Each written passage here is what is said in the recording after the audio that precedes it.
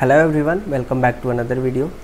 So students in this video i am going to solve objective type question of gauss law. The total number of questions that we are going to solve here is 7 so let's start with the first question.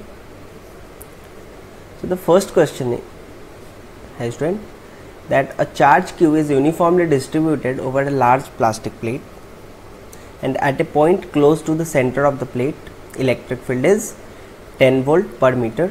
Now the plastic plate is replaced by a copper plate of the same geometric dimensions and carrying the same charge. The electric field at the point P will become. तो students question है एक plastic plate है एक plastic plate है और उसके centre से पास में किसी एक पॉइंट पे तो ये जो पॉइंट है, ये दिया हुआ है lies close to the plate lies close to plate तो इसका मतलब क्या है? ये जो प्लेट है, उसको हम इनफाइनाइट कंसीडर कर सकते हैं. इनफाइनाइट कंसीडर कर सकते हैं. सो ये है plastic plate now the plate is replaced by a copper plate इस प्लास्टिक प्लेट को हमने कॉपर प्लेट से रिप्लेस कर दिया. तो उस केस में सेम पॉइंट पे जो इलेक्ट्रिक फ़ील्ड है वो कितना होगा? यहाँ पे इलेक्ट्रिक फ़ील्ड दिया हुआ है स्टूडेंट ये कितना है? Ten volt per metre so यहाँ पे भी ये इनफाइनाइट ही होगा और इनफाइनाइट प्लेट्स के लिए जो इलेक्ट्रिक फ़ील्ड होता है, वो कितना होता है student sigma upon two F epsilon naught and this formula does not depend कि जो प्ला जो प्लेट है, वो प्लास्टिक का बना है मतलब नॉन कंडक्टिंग है या फिर कंडक्टिंग है। नॉन कंडक्टिंग है या फिर कंडक्टिंग है। दोनों के लिए सेम ही होता है। तो यहाँ पे जो आंसर होगा स्टूडेंट जो आंसर होगा वो कितना होगा? 10 volt per metre so it does not depend whether the plate is made up of plastic और कॉपर तो कंडक्टिंग हो या नॉन कंडक्टिंग हो, जो प्लेट है, उसके लिए इलेक्ट्रिक फ़ील्ड इनफाइनाइट प्लेट के लिए जो इलेक्ट्रिक फ़ील्ड है, वो कितना होगा? Sigma over two epsilon naught तो यहाँ का जो इम्पोर्टेंट कॉन्सेप्ट है इस क्वेश्चन का, वो हम नोट कर लेते हैं। इम्पोर्टेंट कॉन्सेप्ट सो कॉन्सेप्ट क्या है student it does not depend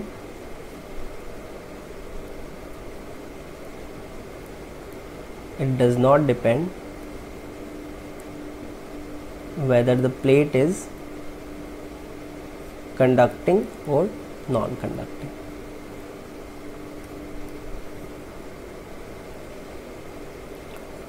non conducting जो इनफाइनाइट प्लेट्स होते हैं, उनके लिए इलेक्ट्रिक फ़ील्ड कितना होता है? Sigma over two epsilon naught चलते हैं अगले क्वेश्चन की ओर।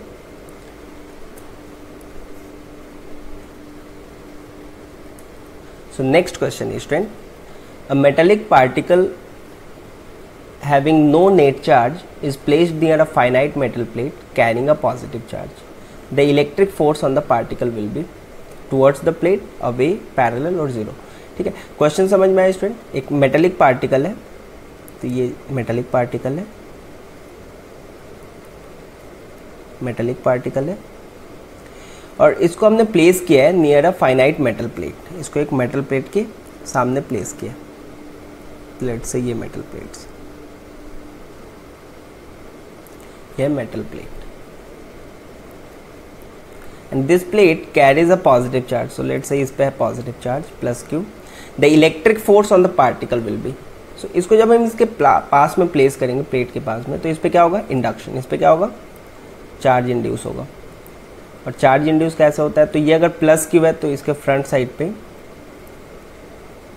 आएगा माइनस क्यू और अपोजिट साइड पे plus Q plus Q so ये जो फ्रंट फेस है, उसको ये प्लेट जो है मेटल प्लेट वो अट्रैक्ट करेगा. तो ये होगा फोर्स ऑफ़ अट्रैक्शन जबकि अदर साइड को रिपेल करेगा। अदर साइड को ये रिपेल करेगा।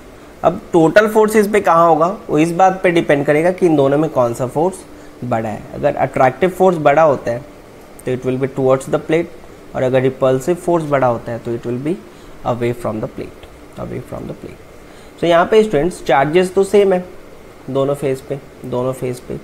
बट इस फ़ेज़ के लिए डिस्टेंस कम है as compare to this one तो attractive force will be greater than the repulsive force in this case. So the net force on this charge और this particle will be towards the plate so answer क्या होगा student towards the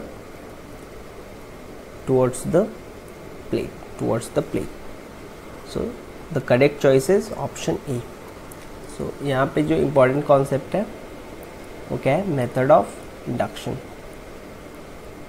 method of induction. तो method of induction को use करके हमने ये question solve किया। Let's go to the next question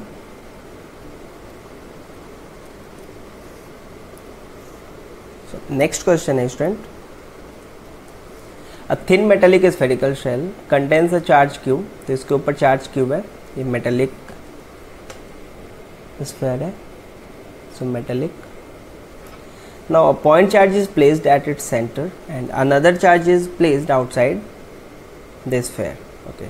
The force on the charge at the center will be center पे charge कितना होगा so net electric field inside it will be zero so net force भी कितना होगा student zero so the correct choice is option D so electric field यहाँ पे concept क्या है electric field inside a conductor is zero और electric field zero है तो force भी zero होगा। फोर्स भी ज़ीरो होगा। तो इनसाइड में किसी भी चार्ज पे कोई फोर्स नहीं लगेगा। अगर हम इस चार्ज को कहीं भी प्लेस कर दें इनसाइड में so no net force will act on that particle, on that particle. So, थोड़ा सा इसको अच्छे से समझते हैं स्टूडेंट। बहुत अच्छा क्वेश्चन है। बहुत अच्छा क्वेश्चन है। तो यहाँ पे जो आउटसाइड चार्ज है, आउटसाइड चार्ज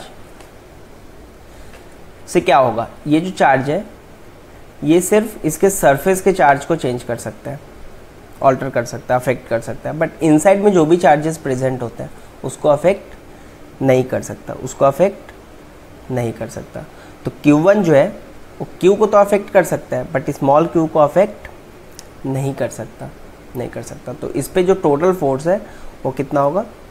ज़ीरो इसको हम इस तरह से समझ सकते हैं, जब लाइटनिंग होता है, जब लाइटनिंग होता है तो it is recommended to seat inside the car बाहर आने से बेटर होता है, अंदर बैठे रहना। क्यों?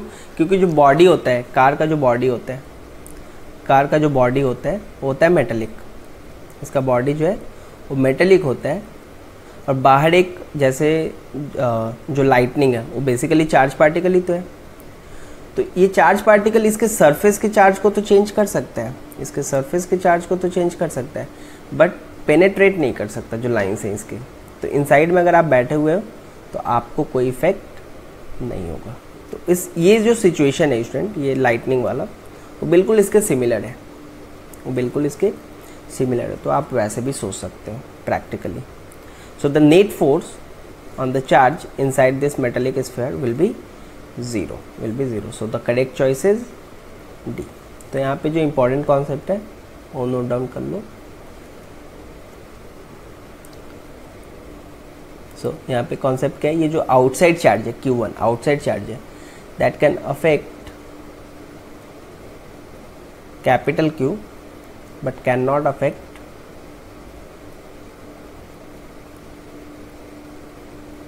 the charge at the center. The charge inside the cell. Clear है स्टूडेंट क्लियर है? चलते हैं नेक्स्ट क्वेश्चन की ओर।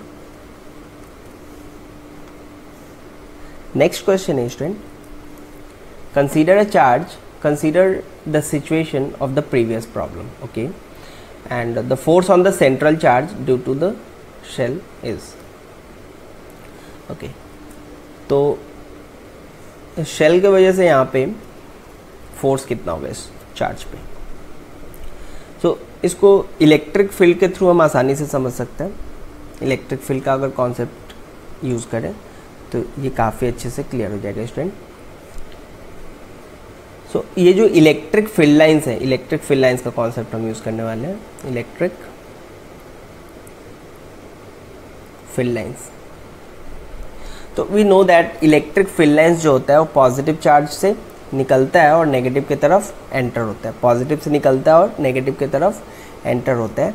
तो ये जो स्फेयर के ऊपर जो चार्ज है क्यू जो चार्ज है क्यू और इसका जो पार्ट इसके फ्रंट में है फ्रंट में होगा कुछ पार्ट और कुछ पार्ट यहाँ पे होगा। तो इसके फ्रंट में जो पार्ट होगा इस चार्ज का, वो इसके इफ़ेक्ट को नलीफाई करेगा, क्योंकि ये दोनों पॉजिटिव चार्जेस हैं। तो इस फेस का जो चार्ज है charge on this face charge on the front face will nullify the effect of this charge will nullify the electric field lines of this charge तो ये वाला जो इस साइड का जो चार्ज है, इस साइड का जो चार्ज है, उसका इफ़ेक्ट तो बच गया तो वो डोमिनेटिंग होगा। तो इस साइड का जो चार्ज है, वो इसको क्या करेगा? ये पॉजिटिव है, ये पॉजिटिव है। लाइक चार्जेस है तो it will repel it will repel तो इस पर जो फोर्स होगा due to this due to the charge on this spherical shell that will be towards right that will be towards right ठीक है? तो आंसर क्या होगा student towards right towards right ठीक है? तो यहाँ पे कॉन्सेप्ट क्या है? कॉन्सेप्ट क्या है? तो charge in front of Q1 charge in front of Q1 will nullify the effect, will nullify the effect of Q1 so इस स्फेयर पे जो चार्ज है फ्रंट साइड पे, वो इसके इफ़ेक्ट को नलीफाई करेगा। तो जो डोमिनेटिंग चार्ज है, वो इसका अदर साइड वाला हो गया अदर फेस वाला। तो अदर फेस वाला जो चार्ज होगा वो डोमिनेट करेगा। और सिंस दोनों लाइक चार्जेस हैं तो it will be towards it will be towards right so the force, the net force on this charge due to this spherical charge will be towards right, will be towards right. तो इसका answer क्या होगा student it will be towards right explanation आपको समझ में आ गया। अगर कोई डाउट हो तो आप हमें कमेंट सेक्शन में बता सकते हो।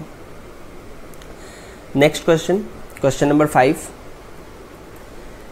electric charges are distributed in a small volume. The flux of the electric field through a spherical surface of radius 10 cm surrounding the total charge is 25 volt meter. The flux over a concentric sphere of radius 20 cm will be. So जो question समझ में student एक surface एक sphere दिया हुआ है और उसके सेंटर पे इन ए स्मॉल वॉल्यूम कुछ वॉल्यूम में, एक स्मॉल वॉल्यूम में चार्जेस डिस्ट्रीब्यूटेड है, ठीक है? तो फ्लक्स इसके थ्रू कितना है? इसके थ्रू फ्लक्स कितना है student flux through the surface is 25 volt metre अब एक कंसेंट्रिक स्फेयर है, इसका रेडियस 10 है, इसका रेडियस 10 सेंटीमीटर है। और एक कंसेंट्रिक स्फेयर है, जिसका रेडियस है 20 सेंटीमीटर जिसका रेडियस है 20 सेंटीमीटर तो इसके थ्रू फ्लक्स कितना होगा?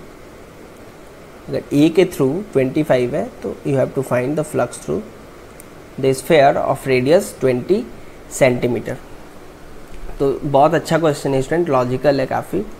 तो अगर यहाँ यहाँ पे इनसाइड में जो फ्लक्स होता है, वो शेप पे डिपेंड नहीं करता शेप और साइज़ पे। शेप और साइज़ पे डिपेंड नहीं करता। जैसे अगर ये सरफेस है, यहाँ चार्ज क्यू रखा हुआ है और इस क्यू का प्रॉपर्टी है चार्ज चार लाइन एमिट कर सकता है इलेक्ट्रिक फ़ील्ड का। तो अगर हम यहाँ पे इस सरफेस को बड़ा कर दें तो उस सरफेस के थ्रू भी कितना लाइंस पास होगा? यही चारों लाइन ही तो पास करेंगे ना, इसको क्रॉस करेंगे। तो जो फ्लक्स है, वो तो दोनों केसेस में सेम हो गया। तो इससे क्या पता चला स्टूडेंट इससे ये पता चला that flux through a Gaussian surface is independent of the shape and size it only depends upon the enclose charge कितना चार्ज इनक्लोज है सिर्फ उस पर डिपेंड करता है तो the flux through a surface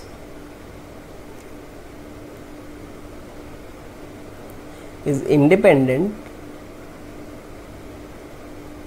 is independent of its shape and size shape and size. It only depends upon the enclosed charge. It only depends, it only depends on enclosed enclose charge so इस case में answer क्या होगा student same there will be no change तो ये भी कितना हो जाएगा? 25 volt metre so the correct choices the correct choices option A option A okay next question करते हैं।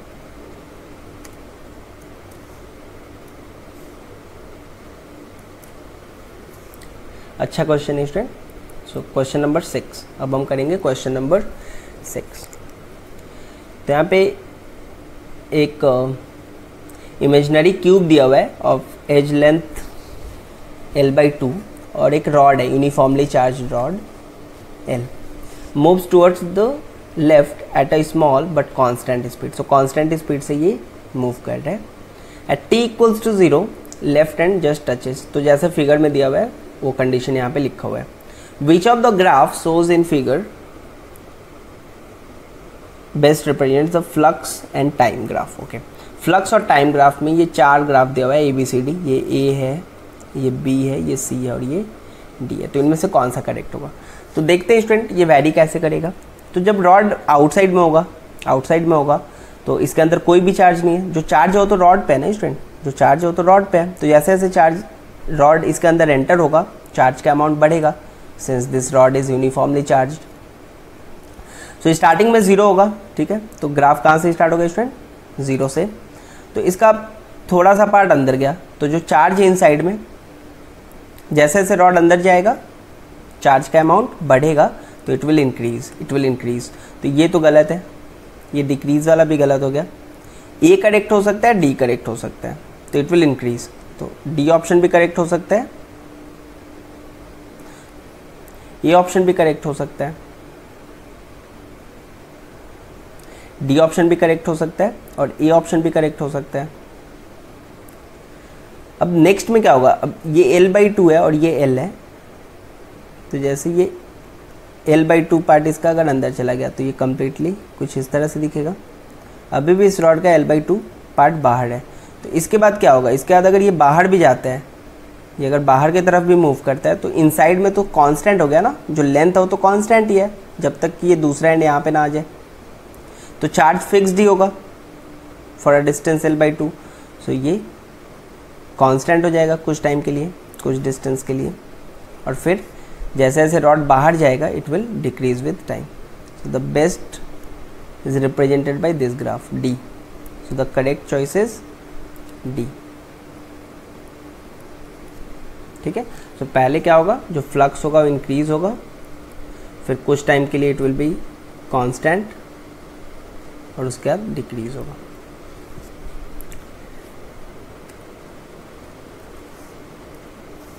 Last question so last question है student a charge Q is placed at the centre of the open end of a cylindrical vessel the flux of the electric field through the surface of the vessel okay so यहाँ पे ये open circuit है तो अभी open figure है open surface है तो यहाँ पे अभी गॉसला यूज़ नहीं कर सकते। गॉसला यूज़ करने के लिए हमें इसको क्लोज करना पड़ेगा। और शेप पे डिपेंड नहीं करता तो हम किसी भी तरह से क्लोज कर सकते हैं। बट हम लोग ट्राई करेंगे कि सिमेट्रिकल लें। सिमेट्रिकल लेने से होता है क्या है? कैलकुलेशन ईजी हो जाता है। हम इक्वली डिवाइड कर सकते हैं। ठीक है? तो हम यहाँ पे इमेजिन कर लेंगे कि ये क्लोज्ड है कम्प्लीटली सेम ये जो नीचे वाला फिगर है ना, वो इमेजिन कर लिया यहाँ पे। तो अब ये क्लोज फिगर हो गया। तो ये गॉसियन सरफेस हो गया अपना। पूरे गॉसियन सरफेस के थ्रू फ्लक्स कितना होगा? तो it will be Q upon epsilon naught Gauss theorem Gauss theorem तो अब ये जो फ्लक्स है, ये तो टोटल के थ्रू है ना। अब ये बिल्कुल सिमेट्री है। बिल्कुल सिमेट्रिक है। तो जितना फ्लक्स इसके थ्रू होगा, उतना ही फ्लक्स इसके थ्रू होगा। और टोटल फ्लक्स इतना है तो एक के थ्रू कितना होगा? इसको हम टू से डिवाइड कर देंगे। तो नीचे वाले पोर्शन के थ्रू कितना होगा? फ्लक्स जो कि हमें फाइंड करना था, हो जाएगा Q upon two epsilon naught Q upon two epsilon naught वैसे तो हम यहाँ पे कोई भी शेप एज्यूम कर सकते हैं, जैसे ये क्वेश्चन था। तो यहाँ पे आप इस तरह से भी शेप एज्यूम कर सकते हैं। बट यहाँ पे फिर चैलेंज क्या आएगा? हमें टोटल फ्लक्स तो मिल जाएगा Q upon epsilon naught but particularly यहाँ से कितना पास करेगा, नीचे वाले पोर्शन से? हम नहीं बता सकते, क्योंकि ये अलग है। सिमेट्रिक नहीं है, बिल्कुल सिमेट्री नहीं है तो इक्वली डिवाइड होगा, ज़रूरी नहीं है। तो यहाँ पे कैलकुलेशन दूसरे तरीके से करना पड़ेगा तो it will become tough to find exactly कितना इससे पास करेगा। ठीक है स्टूडेंट आई होप आपको अच्छे से समझ में आ गया हो। फिर भी अगर कोई डाउट हो तो आप हमें कमेंट सेक्शन में बता सकते हो। थैंक यू मिलते हैं अपने अगले वीडियो में।